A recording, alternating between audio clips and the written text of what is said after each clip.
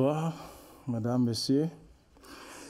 Bon, je suis très, euh, très heureux et peut-être même flatté d'être parmi vous ce soir pour présenter l'œuvre de dicastères de la curie romaine, la congrégation de la foi et le dicaster pour le service du développement humain intégral sur les questions économiques et financières un an après la publication du document Ecumenicae et Pecuniarie Questiones, considération pour un discernement éthique sur certains aspects du système économique et financier actuel. Ce document aborde une question très importante et d'actualité. Les faiblesses du système financier international actuel et cherche à incarner les valeurs et des idées dans la réalité de notre monde et de notre société. Le document Ecumenicae Pecuniarie Questiones aborde son sujet en trois étapes, ou bien à base, à base de trois principes. Il commence avec les considérations de certains discutables points de vue sur la personne humaine, les sens de la personne humaine, de l'entreprise et de bien-être. Parce que le document assume, si la compréhension de la personne humaine est écorchée, il y aurait aussi conséquences de ça qui, seront aussi écorchées. Et si le sang de l'entreprise est aussi écorché, certainement les comportements seront aussi un petit peu hors du normal. Et pour la même chose, si le sang du bien-être est aussi un petit peu écorché, le comportement et le point de vue et les poursuites de cette chose seraient aussi un peu écorchés. Donc le document commence avec ça. Et en base de ça, elle, fait un peu, un peu, de discussion de certains comportements, le sang de l'être humain, le sang de l'entreprise et le sang du bien-être. Et puis il, il continue à considérer les pratiques et comportements aberrants qui résultent de toutes ces visions écorchées de ces choses-là. Et à la conclusion, vers la fin, il fait les propositions, les potentialités qui encore existent pour nous. Donc, en base de ça, je vais essayer ce soir de présenter certaines conclusions et détails de ces documents-là. Alors, en raison de l'identité et du caractère des organisations que nous accueillent ici ce soir, à savoir l'entrepreneur et dirigeant chrétien, l'association des économistes catholiques, pro persona, pro clero, ora elabora et axa même, ce lieu me semble idéal. Présenter nos préoccupations au sujet du système économique et financier actuel, ainsi que nos réflexions sur ce qui est nécessaire pour activer des changements dans l'intérêt de la promotion du développement, développement humain intégral, un intérêt qui partage sûrement toutes, euh, nos organisations. Je commence alors avec les défis qui sont en grande partie hypermondialisation, une expression utilisée très souvent par UNCTAD, c'est ce bureau de euh, ONU qui suivent les questions de commerce et, développement. Et puis financialisation et la, et la promotion du développement humain intégral. Chers amis, pendant longtemps, la globalisation économique a été dominée par la croyance que les marchés libres constitueraient une force imparable pour produire de plus grandes richesses pour tous les peuples. et pour leur intégration harmonieuse. Cette croyance est maintenant sérieusement ébranlée. Il suffit pour, pour s'en convaincre de constater l'actualité telle que présentée par les médias ces jours-ci. Une croissante opposition populaire et populiste à la mondialisation économique, présentée comme capable d'y autoréguler les marchés libres et de générer non seulement de nouvelles richesses, mais également des résultats justes et donc durables. La crise financière de 2008 a constitué un tournant décisif. Comme le Conseil pontifical et Paix, notre dicaster avant de devenir euh, le dicaster pour la promotion du développement intégral, un des quatre dicasters qui ont fusionné dans les du dicaster pour les euh, services de développement humain intégral, il avait à juste titre souligné à l'époque, il ne fait aucun, aucun doute que l'urgence financière est arrivée après une longue période au cours de laquelle, sous la pression de la recherche effrénée, des résultats financiers à court terme, les dimensions caractéristiques de la finance ont été laissées de côté. En réalité, sa vraie nature consiste à favoriser l'utilisation des ressources conservées là où elle peut promouvoir l'économie réelle, le, bien-être, le développement de l'humain et de tous les hommes. Nous devons avoir, nous devons avouer que l'occasion d'élargir la réflexion et de promouvoir les réformes a été manquée.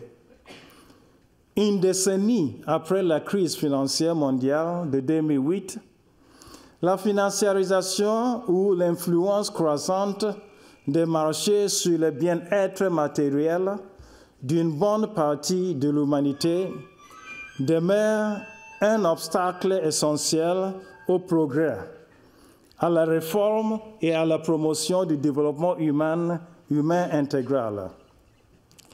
La propagation sans entrave de l'innovation financière a eu pour conséquence que les pratiques et l'opération financière dominante sont devenues encore plus opaques et de plus en plus dissociées de l'activité économique réelle dans de euh, nombreux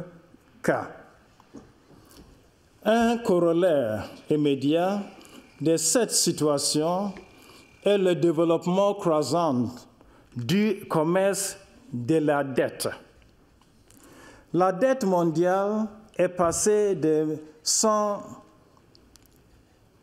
142 000 milliards US dollars en 2008 à 230 000 milliards US dollars au troisième trimestre de 2017.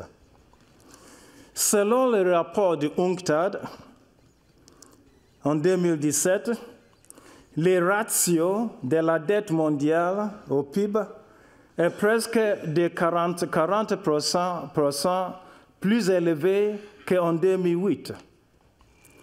De même, cette entreprise de la dette qui prolifère s'est rapidement déplacée dans des domaines autrefois réservés aux autorités publiques pour des raisons d'équité, de justice, de la sollicitude, de, la solidarité, telles que les retraites, la fourniture des services financiers aux plus pauvres ou la gestion de la dette souveraine.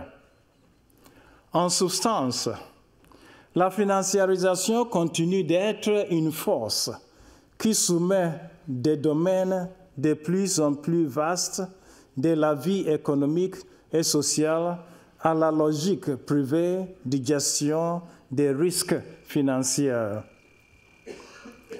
En outre, l'hypoglobalisation, selon le langage toujours de UNCTAD, a déjà entraîné des changements structurels dans les relations entre les États-nations et les grandes entreprises. Celles-ci ne se limitent pas au marché financier, mais comme l'UNCTAD l'a souligné à juste titre dans son rapport de 2017 sur le commerce et le développement. Elle crée une nouvelle génération d'entreprises rentières qui a largement réussi à tirer parti des pouvoirs croissants du marché et du lobbying pour influencer les cadres nationaux et régionaux des réglementations, des réglementations dans un certain nombre de, domaines clés du développement afin de faciliter l'extraction prédatrice organisée sous forme de rente. En réponse, les slogans qui attirent le plus d'attention, que ce soit par exemple appel à un protectionnisme commercial ou à des politiques anti-migration, ils ont tout pour point commun de prôner plus d'exclusion et l'affaiblissement de la solidarité. Cette évaluation fournit le contexte approprié à notre réflexion sur la façon d'imposer un changement progressif et inclusif et d'appeler la communauté internationale à se joindre à nous pour endiguer cette vague croissante de polarisation destructive, de fragmentation, de violences par la réforme du système économique et financier actuel en faveur d'une orientation consciente vers les valeurs du développement humain intégral, c'est-à-dire le développement de chaque personne, de chaque communauté humaine et de toutes les personnes, toutes les personnes en fonction de la dimension relationnelle de la personne humaine. Ici, l'œuvre du CD de Caster touche un petit peu la question disons, anthropologique. Que soit la personne humaine, le document assume comme principe de base que l'être humain est, un être relationnel, créé à vivre en communauté, en société, et en travaillant dans les sociétés pour suivre les biens communs de tous les membres de la société. Donc c'est un peu divers de ce qu'on appelle parfois Robinson Crusoe Economy, où il s'agit d'une seule personne qui poursuit ses propres intérêts. Cette, anthropologie promeuve la reconnaissance des communautés, la solidarité, la coopération et de savoir travailler ensemble. Parce que si on a une situation où, un, chaque personne est contre l'autre, comme Kant avait dit, que l'homme est toujours hein, contre l'autre. Dans ces situations-là, 1 minus 1 nous donne 0. Ça nous, ça, ça, nous apporte, ça, nous apporte une, euh, aucune place. Mais 1 plus 1, ça nous apporte déjà. Ça fait 2. C'est déjà quelque chose de positif. Donc la tendance des de, de, de, compétitions, de, concevoir de la société et de, toutes les entreprises dans le sens de compétition, chacun contre l'autre, c'est un petit peu, c'est un petit peu, euh, ça, ça a gêné un petit peu le pape, puis de Castel qui a développé ce document. Donc le sens c'est promouvoir le sens de solidarité aux communautés, coopération et savoir travailler ensemble pour le bien commun de, tous, les, membres de la société. Après, après, après ces considérations, nous pouvons alors regarder un petit peu quelques considérations fondamentales le déni des pratiques éthiques et le réductionnisme technique. Le Conseil pontifical UCCP, à nouveau, à nouveau prédécesseur de l'actuel de Caster, a déclaré en 2011 à propos des réformes nécessaires du système financier et monétaire international que, compte tenu de la complexité des, phénomènes en question, il convient de ne pas négliger ou sous-estimer l'importance des facteurs éthiques et culturels. C'était le moment où les décasters essayaient de donner et examiner un petit peu la crise financière de 2008. Les débats sur les questions économiques et financières ne sont pas sans valeur. En anglais, ce serait ethic free. Hein. Nous, ne pouvons, nous ne pouvons donc pas concevoir le raisonnement économique comme étant indépendant du raisonnement éthique. Chaque proposition économique a son cadre éthique et normatif, que ses partisans les reconnaissent ou non. Dans ce sens-là, je voudrais vous partager, partager avec vous une observation faite par la conférence épiscopale des États-Unis en 1996-86. Ils ont écrit une lettre pastorale avec le titre La justice économie pour tous. Ils ont dit, la vie économique soulève des questions sociales et morales pour chacun de nous et pour la société dans son ensemble. Et en prenant des décisions et en prenant des décisions en matière de gestion des ressources et d'investissement, nous apportons les preuves de notre identité chrétienne ou bien notre identité morale et de la conviction que les économies locales et mondiales doivent être considérées non seulement en termes de production et de la distribution, mais également en termes d'effets sur l'environnement, sur la dignité de la personne et sur la société entière. En effet, pour chaque activité humaine, par exemple l'entreprise, il est nécessaire de définir son engagement éthique, à savoir sa responsabilité envers la société qu'elle sert. Une telle responsabilité est son ethos et elle marque les limites qu'elle définit, les respects des droits et du bien-être des personnes qu'elle sert. Cette réflexion alors constitue le fondement de notre approche des réformes nécessaires du système financier et monétaire international. L'œuvre économique et pécuniaire questionnes, considération pour un discernement éthique, etc., reconnaît et renforce la vision selon laquelle les débats sur les questions économiques et financières ne sont pas privés, ne pas privés de valeurs éthiques. Le cadre éthique et normatif que nous proposons est simple. Nous soutenons que le développement intégral de chaque personne, de chaque communauté humaine et de chaque peuple constitue l'ultime horizon des biens communs que l'Église cherche à faire progresser. C'est par cela que nous reconnaissons la validité des stratégies économiques.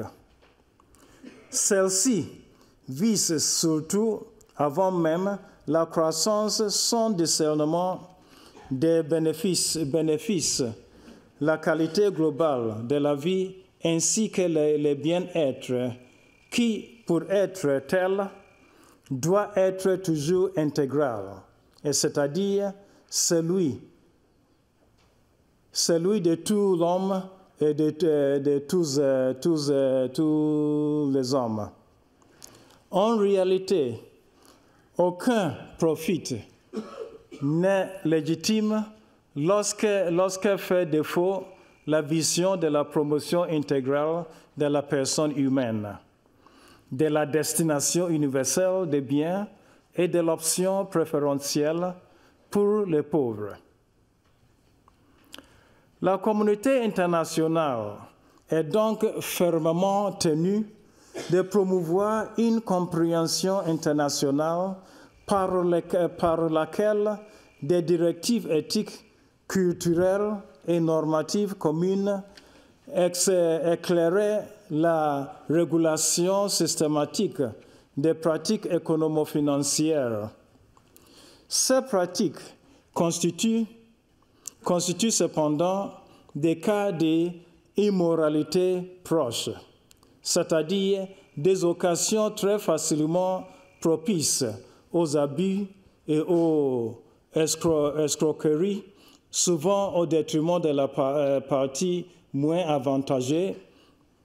Et par exemple, la commercialisation de certains instruments financiers, légitimes en soi, mais dans une situation d'inégalité, en, profite, en, profitant de l'ignorance ou bien, ou bien de la faiblesse contractuelle d'une euh, d'une des parties constitue en soi une violation de la rectitude relationnelle et représente alors une atteinte grave au plan éthique.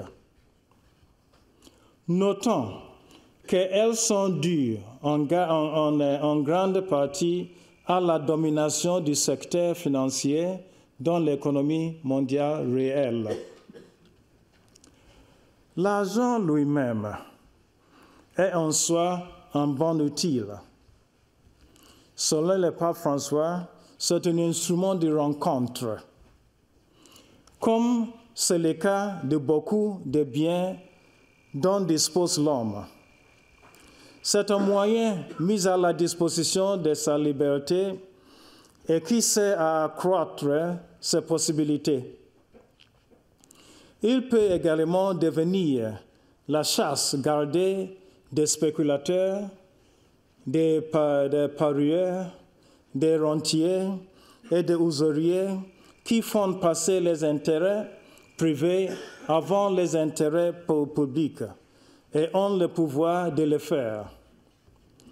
Enfin, en fin de compte, comme le souligne, ce document que nous discutons ce soir, ce qui avait été prédit Voici plus d'un siècle est malheureusement devenu maintenant une réalité. Le revenu issu du capital porté maintenant atteinte aux revenus issus du travail, qui risque de se planter tandis que celui-ci est souvent relégué en marge d'intérêts majeurs du système économique? Il s'ensuit alors que les travaux lui-même, avec sa dignité, deviennent non seulement une réalité toujours plus menacée, mais perdent aussi sa qualification de bien pour l'homme, devenant ainsi un simple moyen d'échange à l'intérieur de la relation sociale inégale. Comme nous pouvons le noter, à la source de caractère problématique du système économique et financier actuel se trouvent les inégalités profondément ancrées et la promoté qu'elle accorde aux spéculations d'investisseurs privés. Nous ne mettons pas en cause et ne nions pas la légitimité ou la nécessaire motif de profit. Ce qui est moralement inacceptable, ce n'est pas le simple, le, simple fait de faire un, un gain, mais celui d'utiliser à son avantage une inégalité pour générer des profits importants au détriment d'autres. C'est de faire fortune en abusant de sa position dominante au, détriment du autrui et de enrichir en nuisant au bien-être collectif ou en le perturbant. En outre, l'intention spéculative, quand elle devient dominante, dévore les immenses patrimonies de valeur qui fondent la société civile, lieu de coexistence pacifique, lieu de rencontre, de solidarité, de réciprocité revigorante et de responsabilité en vue du bien commun. Dans cette ligne, des termes tels que l'efficacité, la concurrence, le leadership, le mérite tendent à occuper tout, l'espace de notre culture civique. Ils assument une signification qui finit par appauvrir la qualité des échanges réduit à un pur coefficient numérique. Tout ça nous a apporté dans ce document-là, essayer d'identifier certains mots spécifiques et puis de proposer certaines potentialités encore dans le système financier. Tout d'abord, les mots spécifiques du système économique financier actuel et quelques remèdes. À bien des, des égards, l'état actuel de l'économie mondiale rappelle les années de 1920.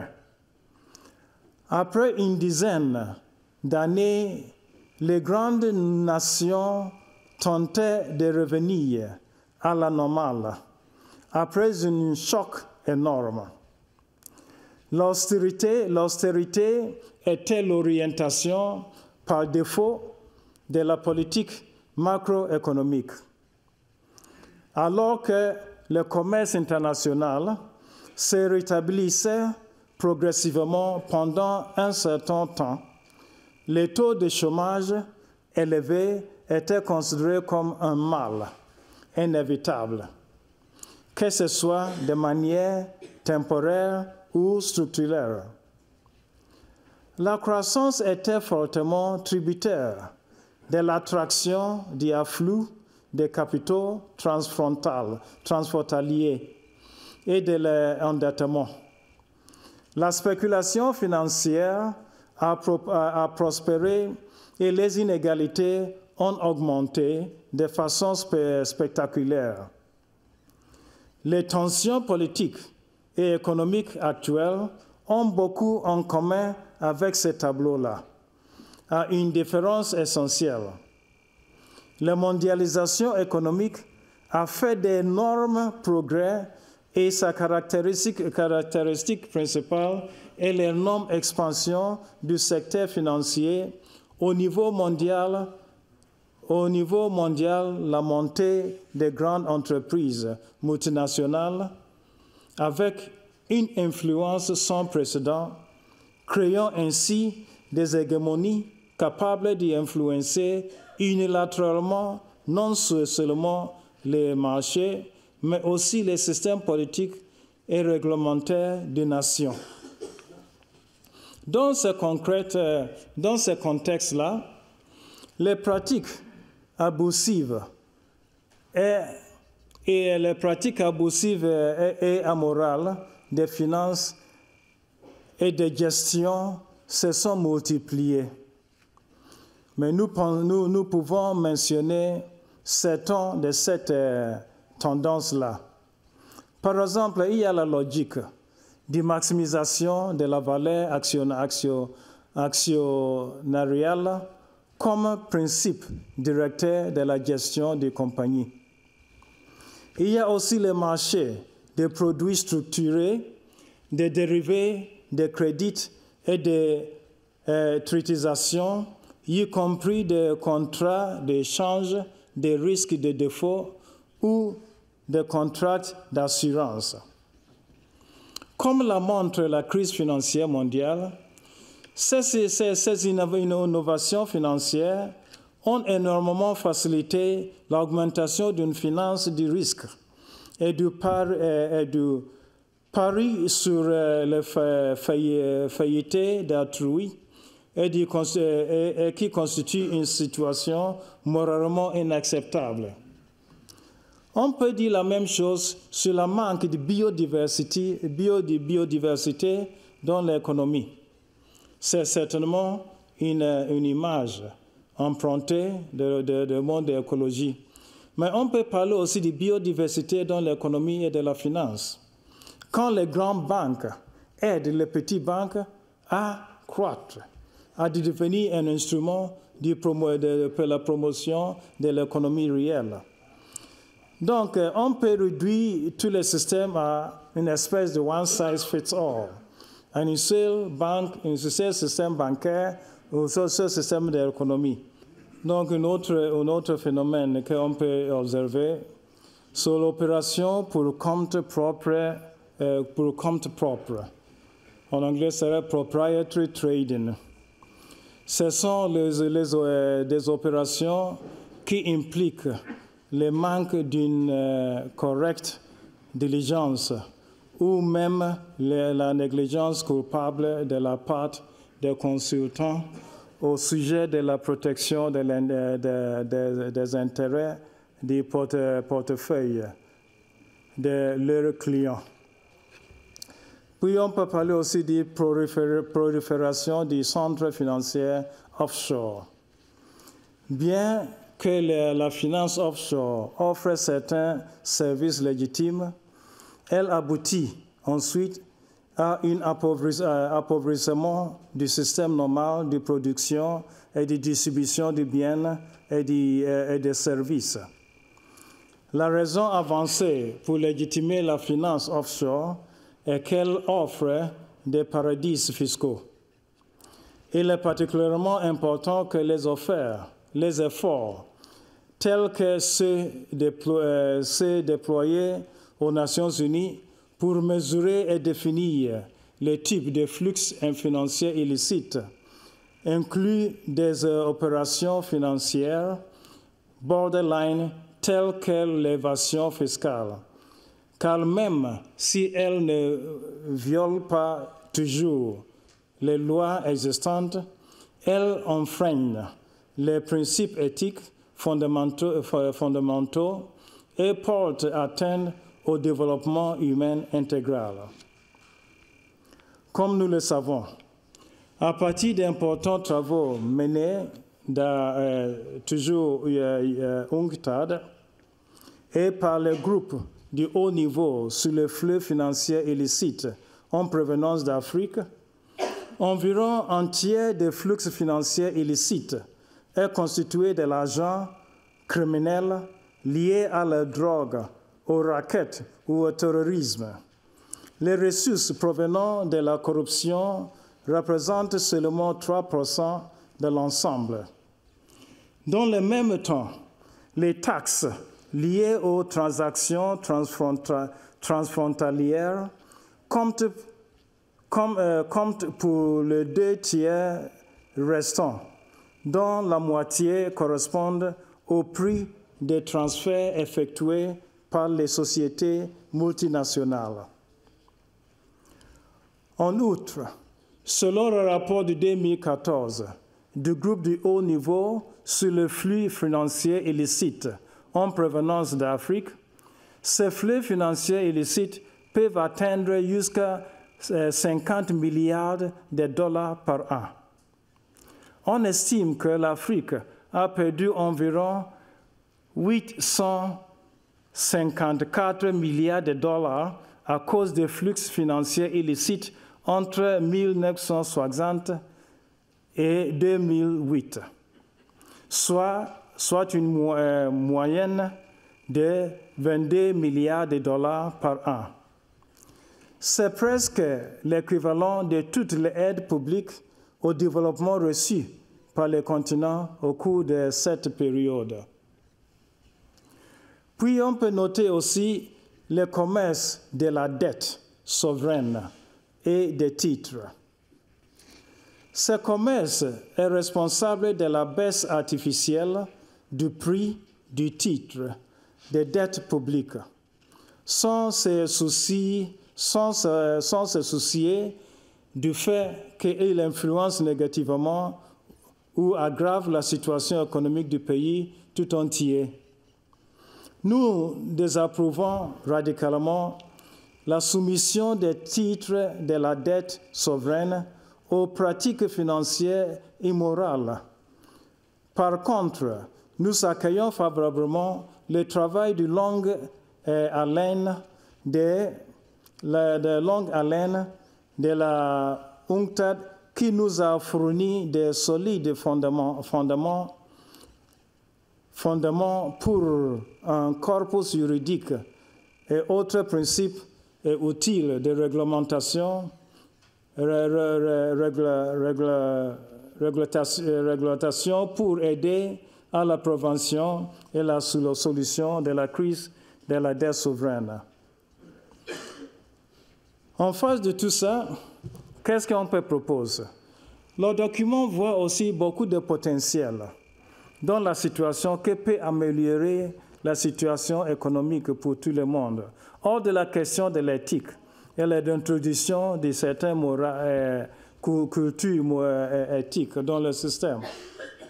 Premièrement, nous affirmons que l'expérience des dernières décennies a démontré combien il est naïf de croire en une euh, autosuffisance première des marchés. Il faut des orientations pour garantir un contrôle sérieux de la fiabilité et de la qualité de tous les produits économiques et financiers, en particulier les plus complexes, tels l'instrument financier, titrisé. Une telle régulation est nécessaire pour contrôler les intentions spéculatives et contrôler le pouvoir croissant et euh, omniprésent d'agents importants et de grands réseaux économiques et euh, financiers, et pour utiliser, euh, ceux qui sont chargés euh, de l'exercice du pouvoir politique souvent désorienté et rendu impuissant par la supranationalité de ces agents et les caractères volatiles des capitaux gérés par eux. Deuxièmement, plus précisément, nous soulignons l'exigence aujourd'hui toujours plus ressentie d'introduire une homologation par, les autorités publiques de tous les produits issus de l'innovation financière, afin de préserver la, santé du système et de prévenir les effets collatéraux négatifs. Cela nécessitera une coordination supranationale entre les différentes composantes des systèmes financiers locaux et visera à promouvoir et à nourrir les biodiversités économiques et financières, à renforcer les principes de coopération et à encourager les crédits coopératifs et publics au service des familles, des entreprises, des collectivités locales ou les crédits d'aide aux pays en voie de développement. Troisièmement, notre document propose également un rôle important dans le contrôle de la légitimité des principales étapes des processus de prise de décision et des principaux produits offerts par l'entreprise, par les bias de la mise en place des comités d'éthique fonctionnant aux, côtés des conseils d'administration et de gestion d'entreprise. Et au-delà des outils importants d'autorégulation par les entreprises, nous proposons aussi en particulier l'opportunité de l'introduction d'une clause générale déclarant l'illégitimité, euh, déclarant illégitime les, les actes dont les finalités est surtout de contourner les, normes en vigueur avec les conséquentes responsabilités sur le patrimoine de tous les partis auxquels ils ont imputables. Finalement, euh, juste pour euh, conclure cette euh, section, je dois vous remercier encore une fois, surtout pour votre intérêt à participer à cette, colloque, à cette discussion, et j'attends votre demande et pour requérir un peu de clarification et exposition de certains aspects de ces documents. Mais nous, à notre avis, il est urgent de travailler à un système financier mondial qui repose sur les principes éthiques fermes et leur application quotidienne, c'est-à-dire justice, vérité, équité et solidarité. Compte tenu du caractère massif et omniprésent des systèmes économo-financiers actuels, une grande responsabilité incombe aux acteurs de ces systèmes. Toutefois, la société civile, les décideurs des pays en développement et pays déjà développés, ainsi que les dirigeants, les dirigeants communautés locales, les individuels et tous ceux qui sont touchés qui sont touchés par les activités des puissants agents économiques financiers, les intellectuels et tous ceux qui sont touchés par les activités des puissants agents économiques et financiers pourraient travailler ensemble pour mener à bien les réformes exposées ici. Je suis convaincu que les cinq sièges et les dicastères pour le service de développement intégral et vous ici présents, ainsi que les organisations auxquelles vous appartenez, partagent un, euh, un engagement profond en faveur de ces valeurs et de cette vision d'une coopération future, fructueuse et de trois à cet égard. Et attend avec intérêt, comme j'avais dit, une conversation fructueuse sur cette initiative du Saint-Siège basé toujours sur la conception de la personne, la conception de l'industrie et la conception de bien-être. Merci. Alors, Denis Duverne, je, vais commencer par vous.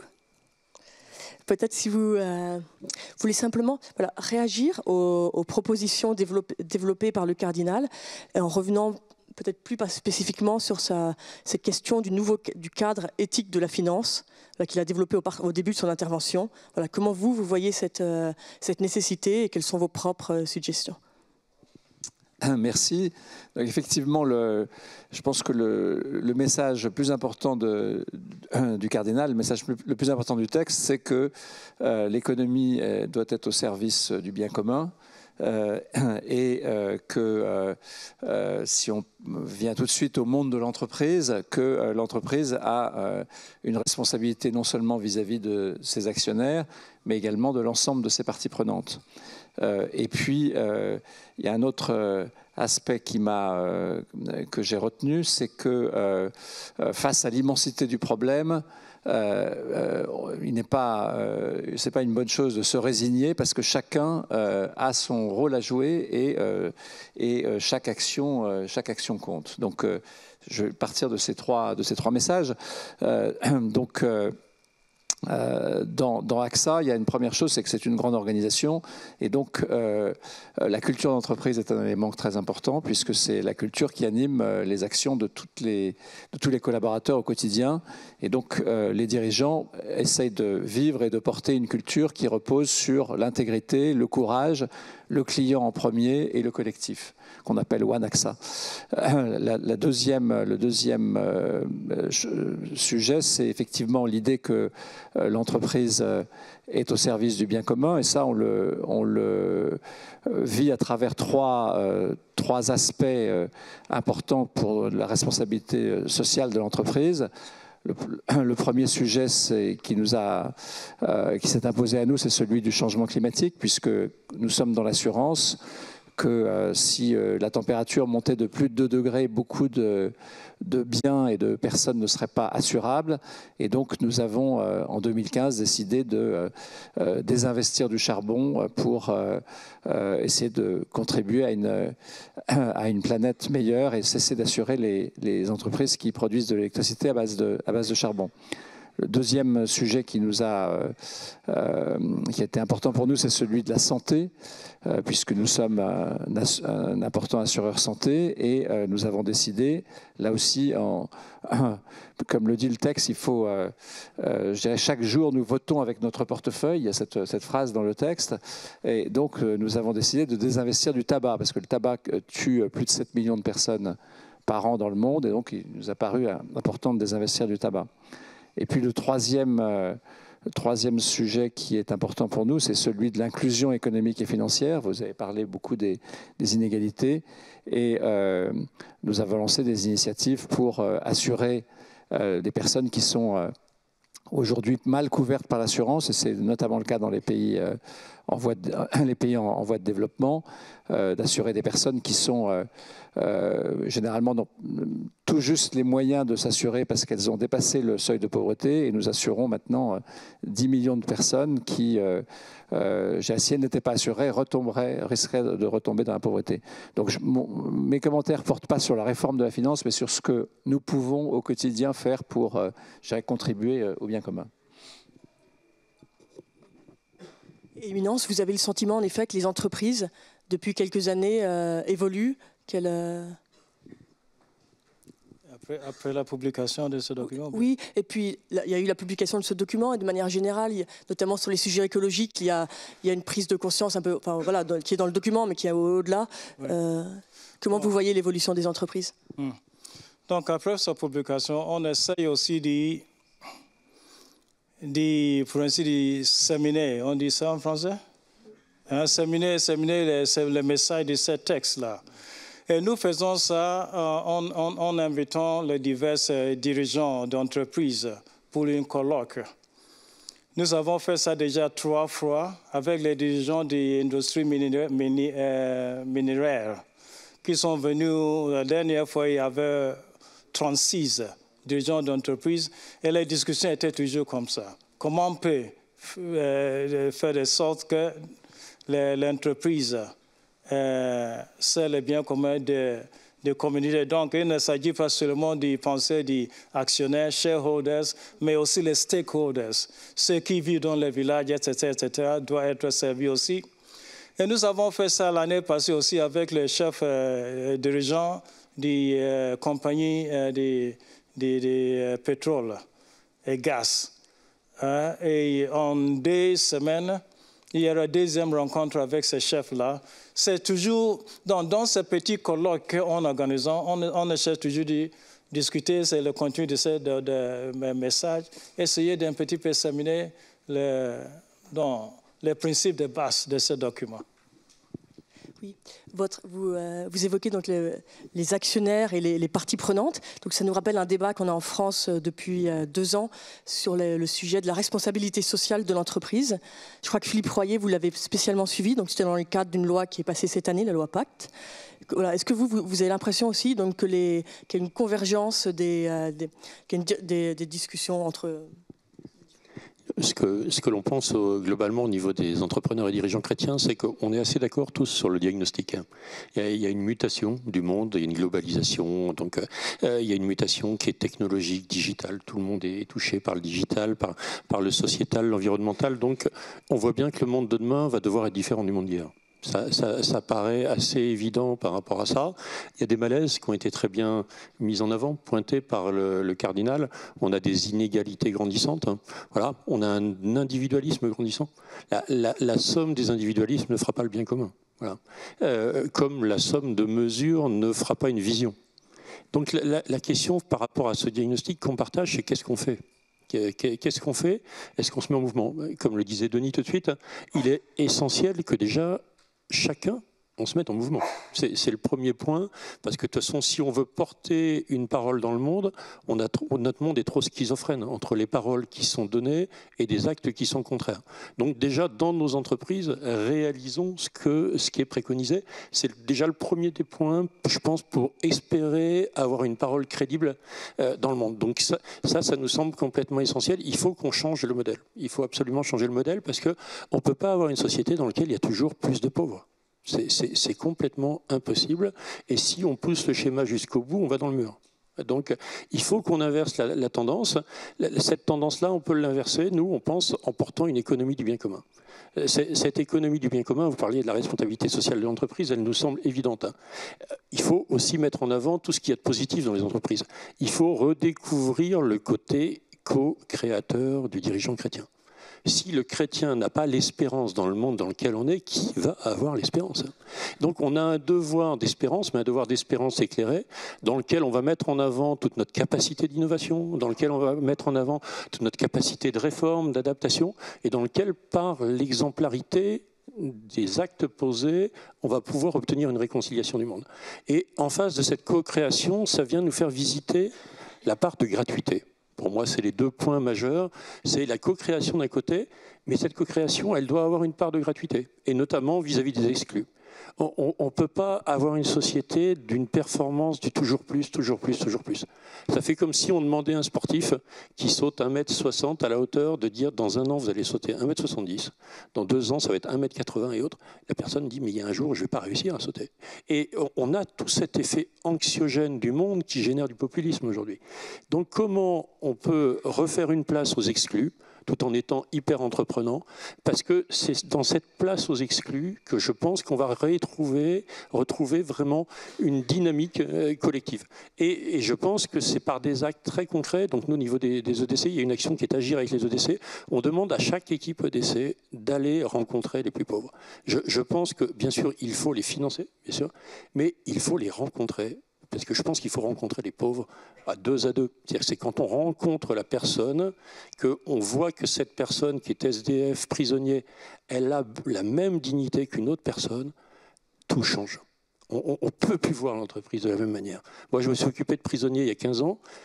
Tout mon management a changé parce qu'on ne peut plus voir la personne de la même manière quand on a rencontré le plus pauvre. Le problème, c'est qu'aujourd'hui, les gens ne rencontrent plus les plus pauvres. Euh, ils en ont peur, comme ils ont peur de la mort. Donc il faut vraiment qu'on insuffle quelque chose de nouveau. C'est ce qu'on s'attache à, donner comme élan au niveau de notre société pour justement suivre toute la dynamique qui nous est proposée par notre pape et qui a été très bien reprise par le cardinal. Avec vous, Bertrand Madré, j'aurais voulu faire un petit retour en arrière. Donc, le cardinal nous a expliqué qu'on n'avait pas tiré les leçons de la crise financière. C'est exactement ce que vous écrivez aussi dans votre livre. Donc voilà, est-ce que vous pouvez développer vous, pour vous quelles seraient du coup euh, les réformes à accomplir Peut-être que vous êtes exactement sur la ligne du, cardinal, peut-être un peu. Voilà, c'est intéressant aussi d'avoir un débat. Donc voilà. excommunié sur scène. euh, merci, merci, Éminence, prenez un micro et puis répondez. Merci, euh, merci Éminence et, merci Anne. Euh, oui, le, le Philippe le dit, on est tous d'accord sur le diagnostic, oui et non. Je pense que peut-être sur cette scène, on est un échantillon absolument non représentatif du système économique et financier mondial tel que le cardinal nous l'a rappelé tout à l'heure. Donc je crois qu'effectivement, à l'échelle individuelle, il est important de se rappeler qu'on peut tous faire quelque chose à notre échelle, l'échelle de notre entreprise, etc.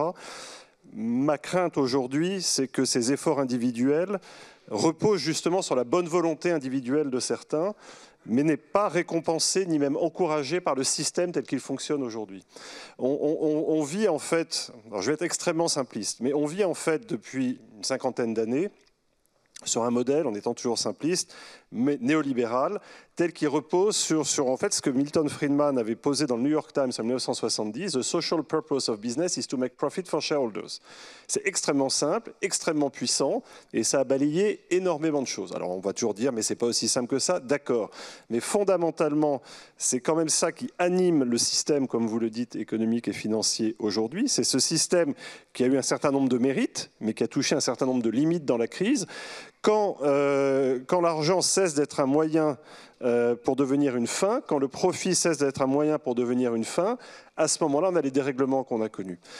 La réalité, c'est qu'on est toujours dans ce système. La crise de 2008-2009, euh, la bonne nouvelle, c'est qu'on n'est pas mort. Donc je ne crois pas qu'on soit en 1939 ou 1940, et ça c'est bien. on a évité le naufrage du système, et, Denis s'en souvient. Je me souviens d'une conférence avec Henri de Castres, exactement il y a 10 ans, début 2009, on n'était pas trop sûr du lendemain. Et on a évité le naufrage. Donc super. La réalité, c'est qu'on a consolidé ce système, mais qu'on n'a pas du tout commencé à penser le système suivant. Et donc, depuis dix ans, on est un peu comme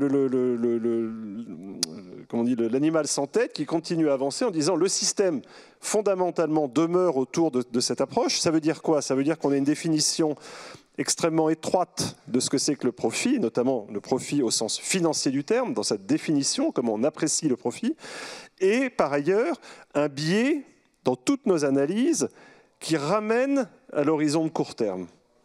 C'est vrai dans les normes comptables, c'est vrai dans un certain nombre de régulations, c'est vrai dans les modes de rémunération, etc. Alors, il y a des exceptions, mais fondamentalement, le système n'encourage pas à sortir de cette définition étroite du profit, de cette sacralisation pour une grande partie du système de l'argent.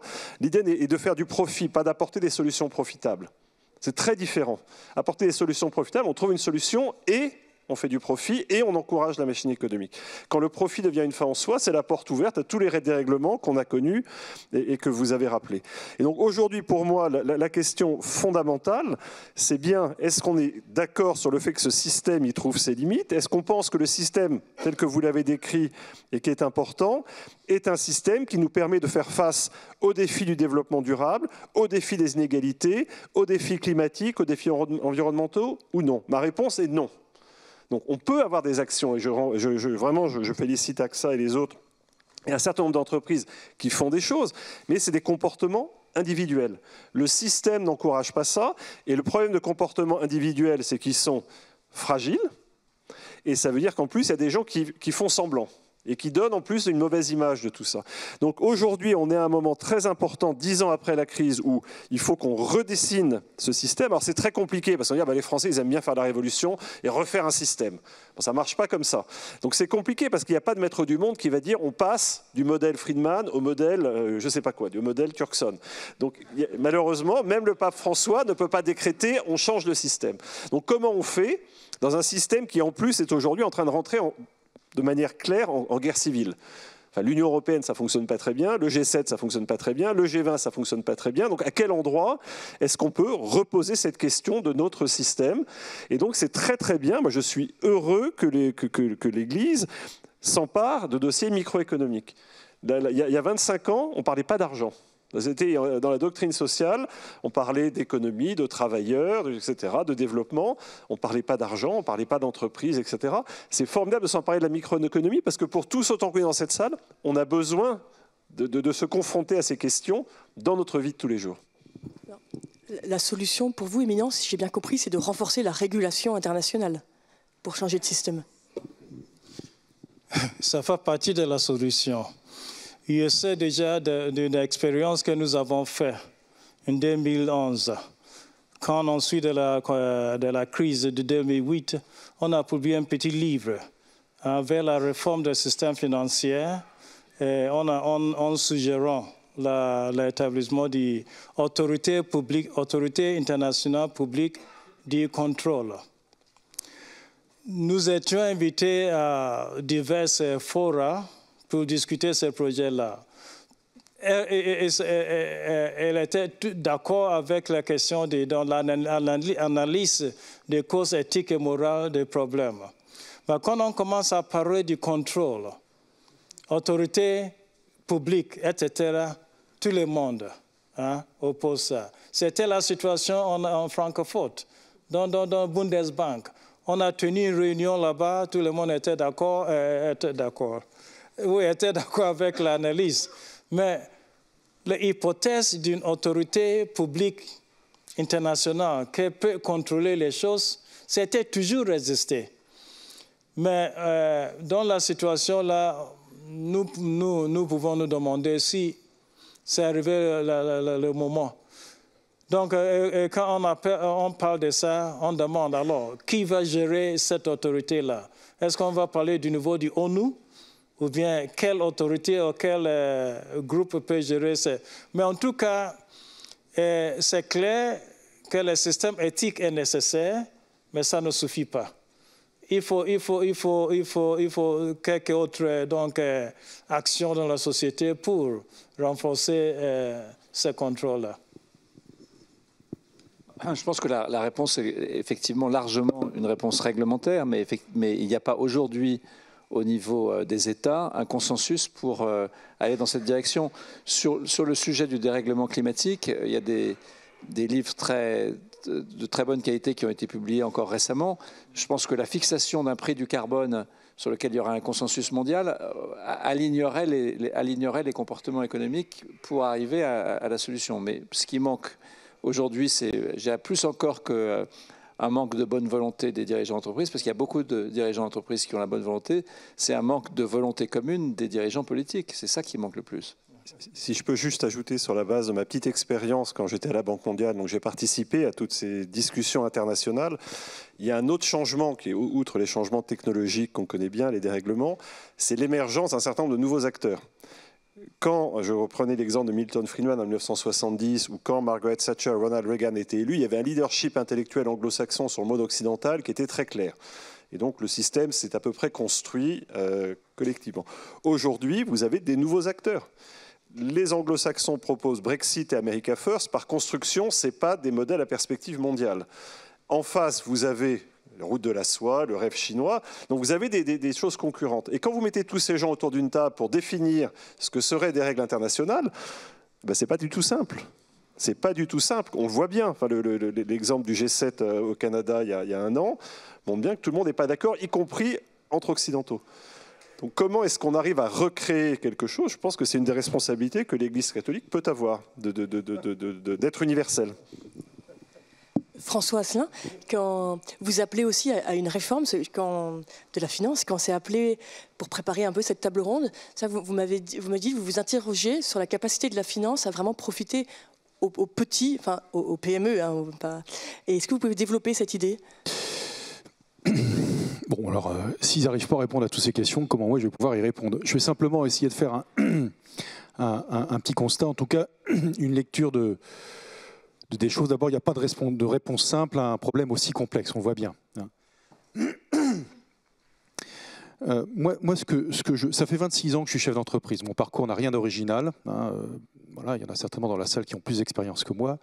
En 26 ans, j'ai vu mon, mon entourage, mon environnement se complexifier d'une façon incroyable. Alors quand ça touche son métier, sa profession, on peut accepter le changement parce que parfois ça nous permet de euh, passer un seuil technologique, d'élargir ses horizons, sa clientèle.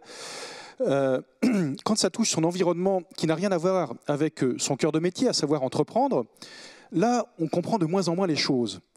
Et finalement, on a ce sentiment, et c'est une formule que j'utilise souvent euh, euh, devant les parterres de chefs d'entreprise de PME, c'est qu'on se sent des risques tout, enquiquinés par des risques rien.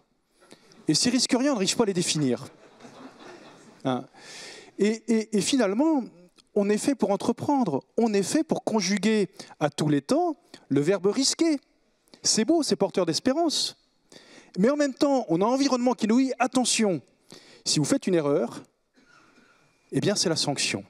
C'est-à-dire que on doit être encouragé à prendre des risques et en même temps, nous allons être les premiers sanctionnés si nous ne prenons pas le bon risque. Et moi, je ne sais pas définir quel est le bon risque, sinon que celui d'entreprendre. Hein.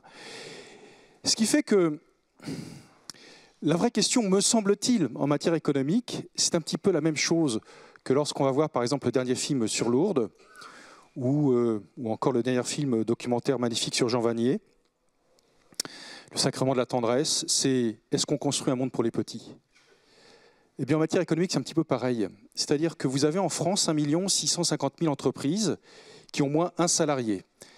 Parmi ces 1 650 000 entreprises, vous avez 5 000 entreprises de plus de 250 salariés. Parmi elles, ce sont nos champions du monde. On en a besoin. On en aurait plus, on ça serait encore mieux pour l'économie du pays. Donc je ne veux pas opposer les grandes et les petites, surtout pas. Mais les petites entreprises, eh bien, elles sont fragiles. Elles ont leur propre fragilité. Et je pense que le monde que l'on construit, eh fait fi de ces fragilités. Et on aime bien faire avancer tout le monde par la contrainte, mais non pas par l'encouragement. Et c'est là où je me méfie de... Il faut de la régulation, bien évidemment. Il ne faut pas que ce soit la loi de la jungle. Mais toute la subtilité est de trouver une, régulation qui ne va pas transformer le principe de précaution en principe d'inaction et qui va encourager les choses positives dans son entreprise. Alors évidemment, ça commence d'abord par euh, effectivement le chef d'entreprise. Et là encore, la grande différence entre l'entreprise patrimoniale et la grande entreprise, c'est que bien souvent, il est facile d'entendre quelqu'un dire j'aime l'entreprise, mais c'est trop court. Il faut dire j'aime l'entreprise et l'entrepreneur. On ne peut absolument pas séparer la personne morale de la personne physique. Et c'est peut-être souvent cela qui nous sépare de la grande entreprise. La petite entreprise n'est pas la grande entreprise en modèle réduit. Et quand je vous dis ça, eh bien, ça irrigue plein de sujets qu'on peut traverser dans ceux qui, entre guillemets, sont à la gouvernance du pays, que ce soit dans la haute fonction publique ou euh, parmi ceux qui font les lois ou, nos hommes politiques. Euh, euh, je prends l'exemple, par exemple, actuellement de la loi mobilité. On veut mettre une prime mobilité en place. Alors on dit, évidemment, il y en a qui n'ont pas le choix de faire autrement que de prendre leur voiture pour aller sur leur lieu de travail. S'ils ne sont pas dans un grand centre urbain, eh bien, ils ne sont pas accompagnés par leur employeur. Ben oui, mais quand vous êtes en province, eh bien, vous avez des salariés qui peuvent très bien habiter à côté de l'entreprise. Le logement est pléthorique, pas coûteux, mais ils font un choix de vie d'habiter à 20 km de l'entreprise. Alors si demain vous devez mettre une prime obligatoire de mobilité, celui qui vient à pied à l'entreprise, il va dire, mais pour moi, moi, je n'ai pas le droit à cette prime. Résultat, voulez, entre guillemets, encourager le pouvoir d'achat et inciter les gens à avoir une démarche écologique vertueuse, mais en même temps, en versant une prime obligatoire, vous les encouragez à s'éloigner de leur lieu de travail. Ça, c'est profondément euh, antinomique avec le caractère même de la PME de province. Vous voyez? Eh bien, ces choses qui paraissent, qui paraissent toutes simples, j'ai un mal fou parfois à convaincre que ben, ça ne colle pas à la réalité du terrain. Lorsque vous avez une démarche vertueuse de certaines entreprises euh, qui, par exemple, j'en connais une, de manière volontaire, choisissent de transformer des bois éco-certifiés. C'est formidable. Est-ce que des fois j'ai un client qui me l'a demandé? Jamais. Par contre, j'ai tout le temps eu des clients qui m'ont dit Monsieur Asselin, vous êtes trop cher. Lorsque vous avez une entreprise dont le modèle économique est de faire de l'apprentissage, qui tous les ans recrute euh, entre 8 et 14 apprentis depuis euh, pratiquement ses origines. C'est formidable, on trouve ça très bien. Est-ce que vous avez beaucoup de clients qui sont sensibles à ça? Non. Moi, j'ai eu des clients qui m'ont dit, Monsieur Assin, vous êtes trop cher. Et ça, on peut le dérouler, on peut le dérouler à volonté. Mais ça, tout le monde dit que ça change, que le, consommateur, les clients sont de plus en plus sensibles. Et et tous, en tant que citoyens, on l'est, je pense. Il y a des, il y a, il y a des, il y a des leviers d'espérance. Parce que quand on regarde sur les comportements alimentaires, effectivement, on commence un petit peu à chercher la quantité par rapport à la qualité et on voit évoluer tous les produits bio, etc. Donc, il y a lieu d'espérer. Mais quand même, dans nos relations entre entreprises, j'aime mieux vous dire qu'il reste encore beaucoup de chemin à parcourir. Voyez et en même temps, on ne peut pas obliger tout entrepreneur par des normes à être absolument vertueux, parce que ça va en tuer eh beaucoup qui ont besoin d'être accompagnés pour justement eh bien, aller vers ces démarches vertueuses. Moi, je, voulais rebondir. Euh, je, suis d'accord avec Bertrand en disant effectivement que les individualismes et les bonnes volontés ne suffiront pas. Euh, par contre, elles sont nécessaires pour amorcer quelque chose hein, euh, sur ça. Par contre, je suis d'accord qu'il faut retrouver de la régulation du système et remettre de la subsidiarité pour ceux qui le vivent. Il faut redéployer la subsidiarité, que ce soit dans le système économique et dans nos entreprises. Euh, la subsidiarité est, ce qui va permettre la création et qui va permettre l'émergence des talents. Donc il faut que effectivement les politiques s'occupent de l'encadrement général et redonnent de la vitalité. Parce qu'on on dit on a un monde qui va pas bien, et c'est vrai, mais on ne va pas augmenter les prélèvements obligatoires. On a déjà beaucoup trop de prélèvements obligatoires. Donc il faut oxygéner le, le, schéma, il faut oxygéner le schéma pour redonner cette liberté d'entreprendre, mettre en place cette subsidiarité, et puis en France, je pense qu'il y a une grande vague de décentralisation à opérer. C'est n'est pas Pôle emploi, il faut qu'il y ait des pôles d'activité d'emploi. localement, les gens sont les mieux placés pour trouver les équilibres hein, entre les établissements d'enseignement, on, essaie de faire ça euh, dans plusieurs villes de, l'Ouest, parce que c'est complètement déterminant, c'est complètement aberrant qu'on soit parfois avec des entrepreneurs qui ne trouvent pas les salariés pour fournir la main-d'œuvre qui est nécessaire. donc il faut absolument redonner, oser le risque de la subsidiarité. Euh, c'est ça qui me semble assez essentiel. Peut-être pour revenir sur... Ah, non, je, euh, je, je, vois bien cette préoccupation. La finance est justement un sujet où la subsidiarité est quelque chose d'un peu plus compliqué. Et, c'est bien ça, c'est que c'est typiquement le produit le plus fluide de la planète. Euh, l'argent, ça circule. Euh, et le billet vert est le même partout. donc ça, ça, ça c'est une donnée de fait. Et on est à un moment où effectivement, c'est ce qui a été permis le débord, les débordements de 2008-2009. Et aujourd'hui, la, réaction, c'est de dire, on ne va pas forcément appeler subsidiarité, on va mettre des murs, des frontières, chacun va s'occuper de chez soi, etc. Ce qui ne va pas marcher d'abord et qui est profondément démageable au bon fonctionnement de l'économie. Et donc c'est là qu'on a une globalisation d'une certaine manière obligatoire. Et donc c'est là qu'il faut trouver les voies et moyens d'une globalisation obligatoire, mais qui fonctionne. Et c'est ça qu'on n'a pas trouvé. C'est ça qu'on cherche, avec la difficulté, c'est qu'il y a des visions concurrentes de cette globalisation? Il y en a qui étaient pour l'ouverture complète des marchés de, capitaux, c'était d'ailleurs un des, piliers du modèle des années précédentes. Et puis vous avez des gens qui aujourd'hui disent qu'il bah, vaut mieux avoir un, système de contrôle des capitaux. Ce n'est pas, des questions très simples. Et donc on, revient, euh, et, effectivement tout ça, directement ou indirectement, arrive au niveau de toutes les entreprises. Il n'y a, pas de filtre. C'est vraiment, quelque chose où euh, chacun sait qu'une décision prise en telle ou telle banque centrale peut avoir un effet sur votre compte en banque assez rapidement derrière. Et, donc c'est là qu'il y, a pour moi un enjeu de système absolument considérable. Comment est-ce qu'on remet ce système au service du bien commun? Et je me souviens, vous vous souvenez peut-être, éminence, d'une discussion que nous avions eue au Vatican il y a quelques années, où on ne savait pas traduire bien commun en chinois. Mais non, mais c'est important. Comment voulez-vous discuter dans une enceinte internationale en disant on va mettre ça au service du bien commun? Et euh, Kevin Rudd, dont vous vous souvenez, était là, qui est, l'ancien Premier ministre australien qui parle très bien chinois, avait dit bah, écoutez, ce qui s'en rapproche le plus, c'est la prospérité. Mais c'est pas pareil. La prospérité au sens chinois, il y a un élément d'équilibre social qui n'est pas forcément au cœur du bien commun chez nous. Et ben c'est toutes ces questions qu'il va falloir qu'on traite ensemble. Et on la réalité, c'est qu'on l'a pas fait. On passe d'un monde où on, avait une vision occidentale des choses à un monde, il va falloir qu'on discute. Et dans l'urgence, parce que, encore une fois, les urgences environnementales et sociales, elles sont là. C'est pas dans 50 ans, maintenant, c'est dans 10, 15, 20 ans. Éminence, juste, justement, je voulais vous demander, euh, ce genre de débat, ces soirées, vous en avez dans, le monde entier Vous êtes invité à des soirées avec ces mêmes thèmes Ou vous voyez vraiment entre les pays euh, euh, des grandes fractures Il était déjà à Chicago, à l'Université de Chicago, pour présenter ce document-là.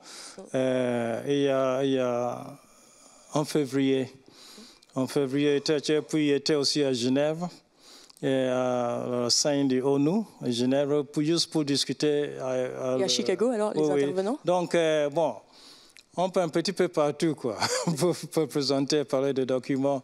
Mais exactement ce que vous avez dit, bon, il y a des choses. Elle avait, euh, elle avait euh, donc mentionné les choses du porte-monnaie.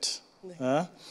C'est une expression utilisée dans ce document-là comme le moyen que n'importe quelle personne peut influencer un petit peu hein, le, marché, comme euh, les, donc, euh, les, dirigeants hein, euh, gèrent les choses. Et puis les choses du bien commun que vous venez de, rapporter. Voyez-vous, c'est juste pour cela qu'il est très important que nous ayons une conception vraie de la personne. Si les sons de société manquent, on ne peut plus parler du bien commun. Si on peut parler du commun, ça veut dire qu'il y a quelque chose que nous lie ensemble. Donc, euh, de la conception de, personnes comme êtres relationnels qui vivent en société est très important pour, juste pour parler du bien commun. Sans la socialité de, la personne, l'expression bien commun n'a aucun sens que peut être commun entre nous si chacun, chacun, chacun se trouve chez lui. Donc c'est pour ça qu'on lit les choses étroitement avec les sons anthropologiques. Quoi. Qui est la personne Comment comprendre la personne Pour comprendre l'entreprise et puis même les sons de bien-être. pour revenir sur les sujets de bonne volonté, je voulais vous demander du coup, Denis Duverne, vous nous avez dit que AXA a changé sa politique d'investissement. Mais vous, qu'est-ce qui a motivé le groupe? C'était une demande euh, des actionnaires, des, jeunes générations du groupe, à la direction, vous vous êtes dit on change. Qu'est-ce qui a, comment, concrètement un groupe comme AXA fait ses choix? Alors c'est le, résultat de discussions avec euh, un, groupe de personnes qu'on appelle notre Stakeholder Advisory Panel, qui est donc un, panel de personnes qui viennent d'horizons différents, de tous les continents, et qui sont engagées euh, dans des organisations non gouvernementales en général, euh, et qui, euh, avec qui nous discutions à l'époque de la, COP 21, qui, qui allait se tenir à Paris quelques mois plus tard, et qui nous ont encouragés à agir tout de suite. Et je pense que ça a été un des leviers qui ont fait que, à la COP 21, l'ensemble des participants se sont rendus compte que le sujet du climat n'était pas seulement un sujet des États, mais c'était un sujet euh, pour chacun, chacun de nous et pour les entreprises.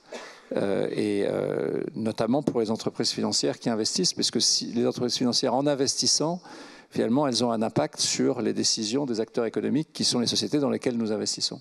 Et donc, c'est, euh, ces, discussions avec notre, euh, notre panel de personnes intelligentes venues du monde entier qui nous a euh, poussé, à, poussé à agir et poussé à agir tout de suite, plusieurs mois avant la, la COP 21. Pour rester sur l'investissement, euh, Bertrand, vous, m'avez expliqué que vous, euh, vous essayez de monter un fonds donc, qui, réponde à des, critères éthiques, au moins, au moins qui soit fidèle au livre euh, que vous avez écrit.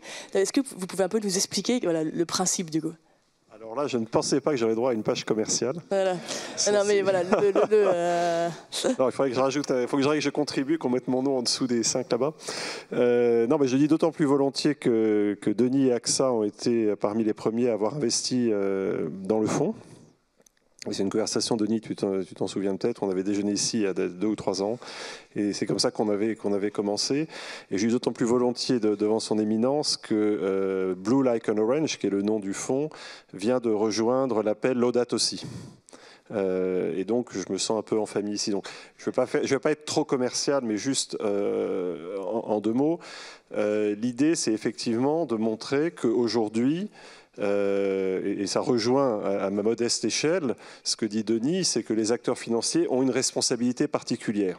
L'allocation de, la ressource rare, qui est le capital, a un, rôle très très important dans le fonctionnement du modèle. Et donc de montrer qu'on peut aujourd'hui combiner une rémunération normale, donc sans accepter que sa rémunération soit amputée par quelques facteurs que ça. On peut par ailleurs être philanthropique, ça c'est un autre sujet, mais dans le jeu de l'économie de marché, on peut avoir une rémunération normale tout en visant euh, un impact positif lié, alors c'est le cadre de référence qu'on a pris, qui est le PINS que j'ai ici, aux objectifs du développement durable. Les objectifs du développement durable, pour moi, c'est en fait la feuille de route. Elle n'est pas parfaite. Alors, ceux qui ne savent pas, c'est les objectifs qui ont été approuvés juste avant COP21 en 2015 aux Nations Unies. 17 objectifs, 169 cibles, très très compliqués à mémoriser pas, très opérationnel pour le secteur privé notamment, mais la réalité c'est que c'est quand même le seul document universel approuvé par tout le monde. Donc je pense que plutôt que de dire qu'il n'est pas bien, qu'il faudrait en faire un autre, essayons de faire vivre celui-là. Et donc c'est dans ce cadre-là, je montre que ces objectifs qui tiennent euh, à l'accès à l'eau, à l'accès à la santé, euh, euh, à des travaux, enfin à des jobs, des, des emplois de qualité, etc., c'est la feuille de route. Maintenant, il faut que le système financier se mette au service de cette feuille de route. Et donc, à mon échelle, j'essaie dans les pays émergents en développement de montrer qu'on peut trouver des opportunités d'investissement qui combinent la, rentabilité normale et attendue avec euh, une mesure de l'impact et un engagement avec les gens avec qui on travaille. Et, le rêve que je fais, c'est que d'ici 15-20 ans, ça ne devienne plus une poche extérieure, mais que ça devienne la norme. Et qu'en fait, tout investissement résonne en disant je veux une rémunération tenant compte d'ensemble des facteurs et que je suis confortable que mon investissement a un impact positif et mesurable. C'est en fait passer d'un raisonnement, j'allais dire, en étant extrêmement simpliste, au 19e siècle, on était focalisé sur le rendement, le return. Il suffisait de creuser la terre, de faire une mine, d'aller coloniser, etc. Et on trouvait, il n'y avait pas de problème. Au 20e siècle, on a un peu complexifié en faisant ce qu'on appelle le risk return ou le couple euh, rendement-risque ce qui aboutit à toute l'industrie financière et au modèle financier qu'on utilise aujourd'hui. Je, souhaite, et c'est un peu ce qu'on dit dans le livre, qu'au XXIe siècle, on combine, on ajoute une troisième variable, qui soit la variable de durabilité ou la variable d'impact, risk, return, impact, ou risk, return, durabilité. Et, et cette durabilité, c'est tout ce dont on vient de parler. C'est la planète, c'est la soutenabilité sociale, c'est la prise en compte du tissu, de ces solidarités, de cette fraternité qui fait qu'on n'est pas dans un capitalisme hors sol, dans un capitalisme qui vit dans une économie avec des gens qui, font de la gratuité. Je ne demande pas que la, la gratuité soit valorisée, mais il ne faut pas qu'elle soit niée. Excusez-moi, je vais, faire mon, journalisme, mais il faut que j'en profite quand j'ai des experts à côté de moi. Euh, on constate au niveau mondial une sorte de concentration dans de l'activité économique. Est-ce que la finance n'accélère pas cette concentration? Est-ce que vous y êtes attentif? Alors, ça, n'est plus mon métier d'y être attentif, mais c'est mon métier d'y être sensible, parce que maintenant je suis écrasé par les, grands acteurs. Mais, c'est vrai que euh, un, des, aspects intéressants, euh, vous avez rappelé les chiffres, un des, aspects intéressants de cette crise financière, qui était comme souvent une crise de la dette, c'est qu'on est beaucoup plus endetté aujourd'hui qu'on l'était en 2008-2009, ce qui n'est pas le moindre des paradoxes. Et, et que sur cette dette qui a cru, le système financier a lui aussi euh, pris de l'importance et qu'on a un niveau de concentration des acteurs pour toute une série de raisons techniques, y compris la gestion indicielle, etc. J'aime bien prendre l'anecdote, les gens connaissent souvent l'entreprise BlackRock. Qui est, qui est, pris comme le symbole de ces très grandes entreprises financières.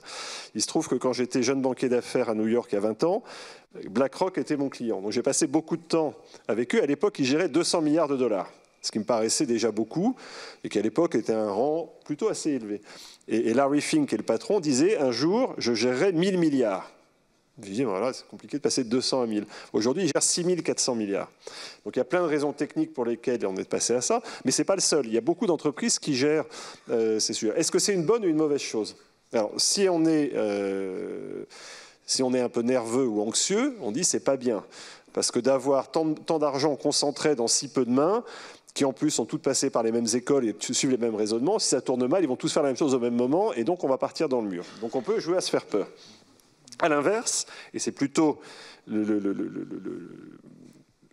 point de vue que j'essaye d'avoir, c'est de se dire, mais en réalité, ce qui est très bien, c'est qu'on n'a jamais eu autant d'argent collectif géré dans des mains qui peuvent prendre les bonnes décisions.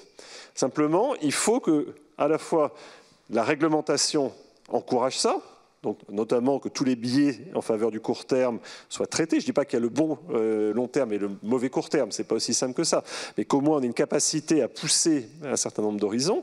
Et par ailleurs, ce que je dis souvent, je pourrais le dire pour AXA, c'est que l'argent de BlackRock, ce n'est pas l'argent de Larry Fink, l'argent de BlackRock, c'est mon argent, c'est le vôtre, c'est de l'argent collectif. Et donc, si on ne s'exprime pas en tant que client éduqué pour dire je veux que mon argent aille où sont mes valeurs, ben, ça ne se passera pas naturellement parce que le système n'y pousse pas. Donc, il faut pousser, il faut essayer de prendre le système à son propre jeu en disant bah, écoutez, les gars, vous avez les clés, bah, tournez-les dans le bon sens et allons dans la bonne direction. Pour moi, c'est l'enjeu des prochaines années. Il faut, il faut créer dans le système une incitation à faire les choses et pas compter sur la bonne volonté de tel ou tel, ou pire encore sur le cynisme de certains qui vont dire ah bah moi je vais faire du vert, je vais faire du durable, je mets un grand coup de peinture et t'as qu'à croire. Éminence, donc ces, réflexions, sur l'investissement euh, que, que, Denis Duverne et Bertrand Badré ont développé, pour vous, c'est un, début de, bonnes solutions pour C'est un peu la, stratégie des, petits pas, si je peux me permettre, où on va voilà, doucement réorienter les entreprises. Pour vous, ça peut être une bonne solution, du coup, pour euh, réformer la finance Ou non, il faut vraiment euh, voilà, tout revoir, comme vous disiez dans votre, euh, dans votre discours Qu'est-ce que vous en pensez? Ou, c'est déjà bien de commencer comme ça, en essayant d'un peu de se réorienter? Oui, vous, je ne suis pas un économiste comme, comme lui, je peux faire l'analyse. il, fait, il, fait ce discours à partir de, disons, que c'est ce qu'on peut dire en anglais, common sense economist. Hein? Je, suis seulement common sense economist. Donc, euh, les choses de finance, euh, investissement, oui, ça peut aider. Et juste pour cela, en ce moment-là, dans cette période-là, nous sommes en train, il y a euh, le Français là, nous sommes en train même d'aider le Vatican même à contrôler son investissement. Oui. Donc, euh, nous sommes en train maintenant de préparer un petit document qui peut aider euh, le Saint-Père à avoir le même, pour ainsi dire, contrôler un petit peu le système de financement dans le Donc, euh, il, est, il, est, il, est, essentiel. Mm. il est essentiel composant, composant de ce qu'on a pour, disons, une activité sainte de n'importe quelle institution. je, voudrais, revenir sur ce point-là. Euh, je, reprenais euh, un élément qui est dans le texte, qui est de dire on vote chaque jour avec son portefeuille. Je pense qu'effectivement, il y a de plus en plus d'entreprises d'investissement qui euh, investissent en ayant une grille d'analyse développement durable. Et si les clients eux-mêmes demandent des produits d'investissement qui sont, euh, je dirais, labellisés sérieusement, pas, avec le coup de peinture dont parlait Bertrand, euh, labellisés sérieusement au développement durable, on, a progressivement une orientation des investissements dans la bonne direction. Et c'est plus efficace euh, de le faire comme ça que par de la réglementation. On n'arrivera jamais à réglementer ce sujet-là de façon intelligente parce que ça repose sur le bon sens, comme vous disiez, euh, Éminence, ça repose sur euh, des, analyses euh, techniques qui vont progressivement évoluer, parce qu'aujourd'hui, on ne sait pas encore dire euh, quel est l'impact d'une entreprise industrielle sur euh, sur le climat? C'est des choses qui sont des analyses qui sont très compliquées et donc progressivement la sagesse collective va s'établir. Si les investisseurs individuels disent moi je vote dans cette direction en investissant dans des produits euh, d'investissement durable, eh bien progressivement les sociétés seront obligées d'aller dans cette direction. Donc c'est une responsabilité de chacun d'entre nous sur les, sur les sujets écologiques, éminence, l'Église est, est, très, est très exigeante puisqu'elle elle voit, elle voit l'écologie comme une, une écologie humaine avant tout, si j'ai si bien compris votre... Écologie Humaine avant tout, sur les sujets de, développement intégral, pardon, intégral. Sur, les sujets d'écologie, quand, on, quand, quand vous, aussi. Oui, quand, quand vous entend parler, vous l'Église va encore plus loin, va encore plus loin. Si vous avez euh, une intention de, une, écologie intégrale, c'est ça? Oui, euh, bon, l'écologie intégrale, ça veut dire que nous, nous, nous, nous ne parlons pas seulement d'écologie naturelle, nous parlons aussi d'écologie humaine. Hein, parce que comme l'écologie humaine, et puis on parle, Benoît XVI a parlé même d'écologie sociale et l'écologie de la paix. Donc en mettant tout ça ensemble, on parle d'écologie intégrale. Hein, donc ça veut dire que bon, il faut faire attention, pas seulement à l'ambiance dans laquelle on est, l'environnement dans l'on vit, mais aussi chaque personne euh, exige, chaque personne exige une certaine condition d'environnement. De, qui aide un peu à, réussir, pour ainsi dire, à vivre donc euh, en pleine santé, etc. Donc, c'est ce qu'elle appelle. En tant que l'Église, bon, je ne suis pas, dans, la, tête du pape Benoît, euh, pape euh, François, mais, donc, il, avec cet encyclique-là, Laudato aussi, il a déclenché beaucoup de forces dans l'Église et dans la société. Je me souviens très bien, bon, il était ici à Cap 21, il a guidé la délégation du Saint-Siège. Et monsieur, euh, euh, comment on dit ça, le modérateur, hein, Fabius, oui. En certains moments, quand les choses sont devenues très, très, très, très euh, dures, il a invité la délégation du Saint-Siège parce que la, résistance, la résistance était du Guatemala et Philippines, deux pays catholiques. donc, donc, il a demandé à la délégation de allez, allez parler avec vos enfants là. donc, euh, donc, on a assisté. Et puis, même avant de ça, M. Hulot avait organisé ici un événement, Conscience pour le climat en invitant tous les chefs religieux pour bon, euh, signer un petit document. On a appuyé un petit peu le, mouvement pour, les, de, les choses climatiques. Donc, euh, euh, on fait ce qu'on peut faire, mais on est. Voyez-vous, nous écoutons par exemple l'histoire des populations de l'Église évêque des îles Pacifiques qui nous parle de, pour, ainsi dire, de la menace à constant qui se trouve autour de lui. Un, évêque disait que les îles sur lesquelles ils vivent est seulement un mètre. Hein? donc, euh, euh, donc un mètre de surface, hein, autour entouré par, par, par, par, mer. Donc, pour ces personnes-là, la, la question du changement climatique euh, la disparition de, la glace euh, sur le, etc., Circle, etc., ce n'est pas, pas seulement une chose qu'on lit dans les journaux. Il s'agit de choses qu'ils vivent hein, concrètement.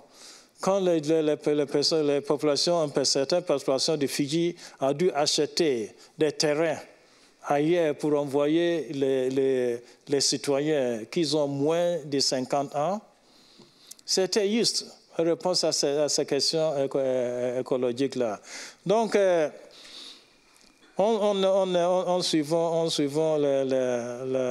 l'exemple du pape François, qui suivent aussi l'exemple de François d'Assise, on, essaie d'aider un petit peu à cultiver les liens, les rapports entre chaque, chaque personne et l'ambiance dont ils vivent.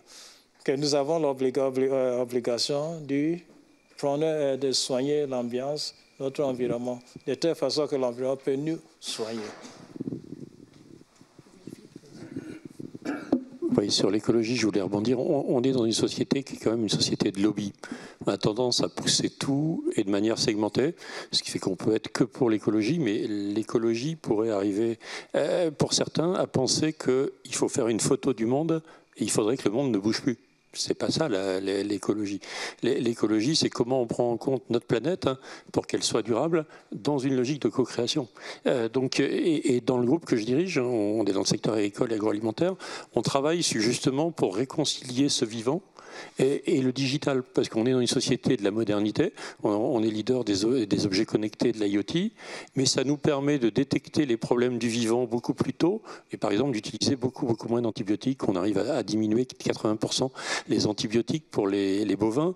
Les humains devraient faire la même chose, que c'est une vraie, une vraie cause euh, humaine également. Donc on, on voit bien qu'aujourd'hui, il faut raisonner par systémie, parce que si on a euh, les gens qui sont les spéculateurs de telle chose, les autres qui, sont, qui vont pousser l'écologie à fond de manière très précise. Pour moi, c'est aberrant qu'on ait un parti des écologistes en tant que tel. Tous les partis devraient intégrer l'écologie dans leur programme tellement c'est systémique euh, par rapport à ça et on ne devrait pas laisser l'écologie euh, à un seul parti politique. Et c'est bien que ça soit une cause qui soit évoquée parce qu'ils ont le mérite de l'être, mais de, l'évoquer, mais le, pape François l'évoque euh, très très bien. Donc on doit tous s'emparer de mais dans une systémie dans laquelle l'homme est à sa place dans l'écologie, et cette écologie, elle est intégrale et humaine. Merci beaucoup.